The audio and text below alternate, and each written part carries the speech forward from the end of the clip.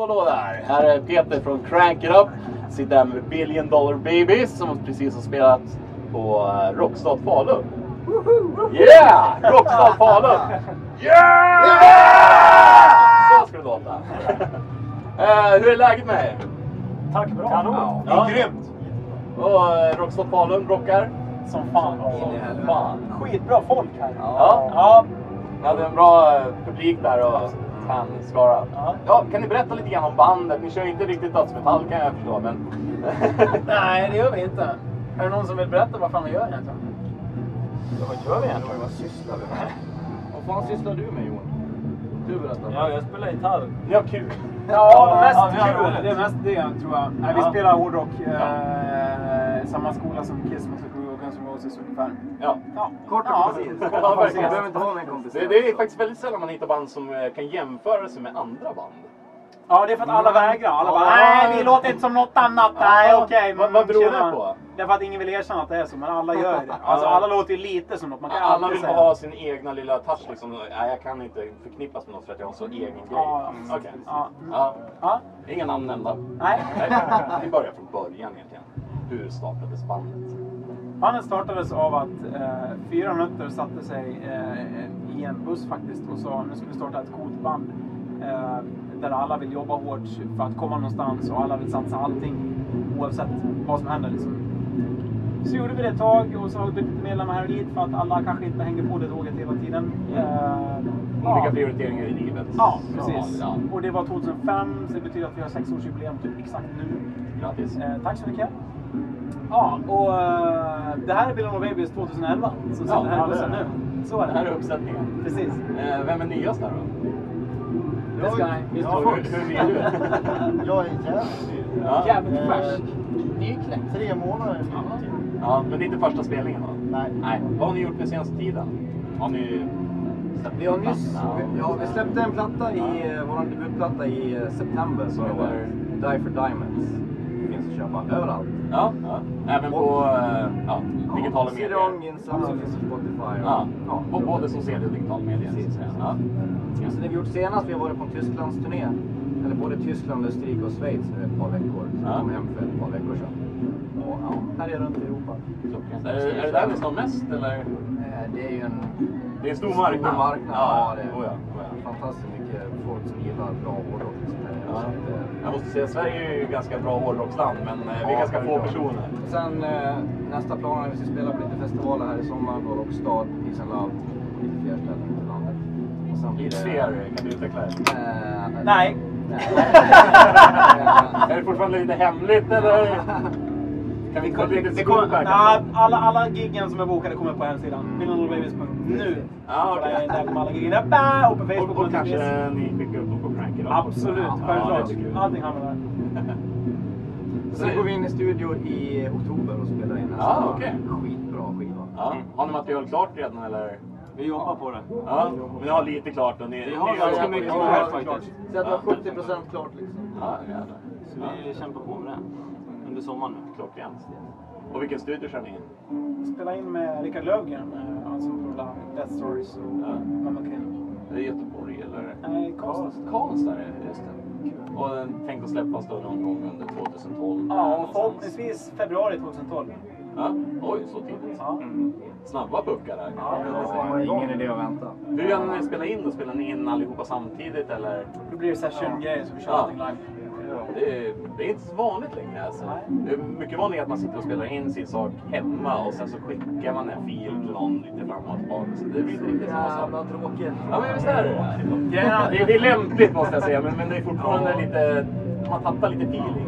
Ja, Förra, förra plattan gjorde vi så och så drog vi ut det. Det var en jättelång process att spela in allting och folk kom in och la in grejer. Till slut var det någon som la ett pålägg liksom 12 månader efter någon hade satt trumspåren till slut. Och det finns inte kvar samma energi. Alltså, ska man spela en låt så ska ju alla spela den samtidigt. Det är ju då Ja, energin ja, finns det. absolut. Och sen finns ju risken att man tappar intresse för låten också. Så därför Det känns det som att nästa gång då blir det så här. Ja, och nu har vi bokat för att det ska Ja. bli så. så. Precis. Inte tänka så mycket. Nej, nej, nej, det exakt så. är det. Go with the flow! Yeah! Go with the flow bara. Can I hear you? Yeah! Och eh, annars då? Hur eh, ser framtidsplanen ut längre tid? Ja, ta över världen då. Det här är ju första steget att släppa nästa platta.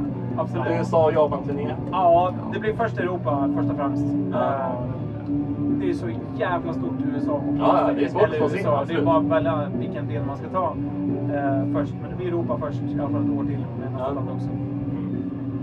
Några roliga länder där som inte varit i förut. Ja, alltså Italien, Spanien eh, har jag hört av sig massor och vill att vi ska komma dit. Framförallt efter vi har varit där nu.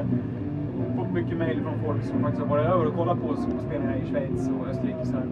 Eh, Så det är väl en ganska naturlig koppling att åka vidare till eh, Italien, Spanien nästa sväng och köra där också. Engelska marknaden då?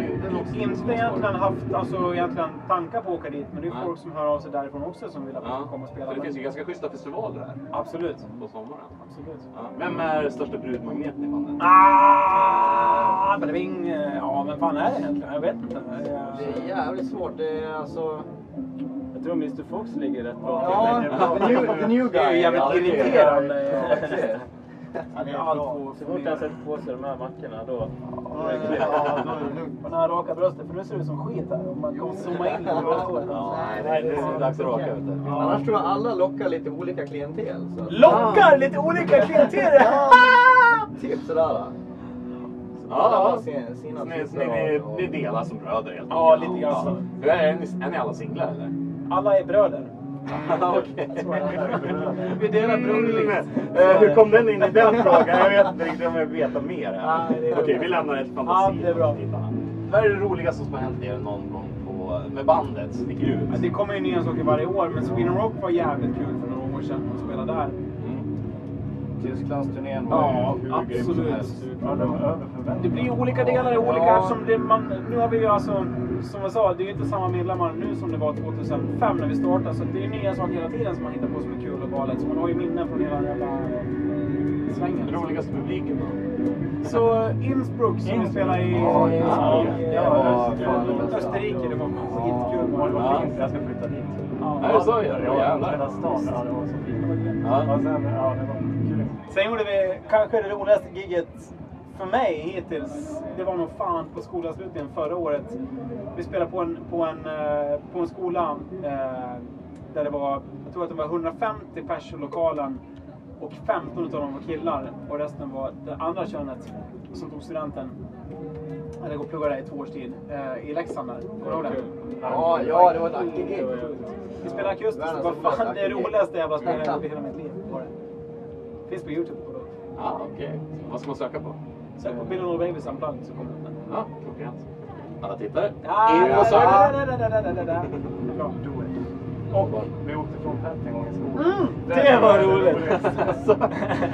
Fanns ingen täckning heller. Nej. Jag lyckades ringa dem när de hade åkt fem mil. Jo, fem mil när de kommit. Vi åkte två Vad bilar. fan är det någonstans? Märkte ni inte ens att han var borta? Nej, det, för vi var två bilar. Ja, han måste vara i den andra bilen. Pat har en välkänd röd skinnjacka som jag såg lysandes i någon jävla bil någonstans. Tänkte jag så att jag åkte liksom med min bil. Och så de andra åkte efter. Och sen så efter en stund så ringde de här killarna från deras och bara, Har ni Pat med er?" Nej. Vad seriöst? Ja, för fan seriöst. för då var det Nicke bakom en sån annan jävla lysande röd som- man såg på flera mils avstånd. Så Pat var ju kvar där på Rockfomok ute i Finnåker, ingenstans, massa täckning. Ja, nej, vi får tacka för intervjun här med Billion Dollar Babies och eh, hoppas vi ser er snart igen. På någon festival som fortfarande hemlig men som man hittar på Billion Dollars hemsida. Absolut. Eller kanske crankitup.se. Crankitup.se eller facebook.com slash bdbabies.ingenting. Ja, Facebook.com slash bdbabies. Så är det. och lägg som vänner. Och Crank It Up självklart. Där måste ni också lägga till. Självklart. Skål!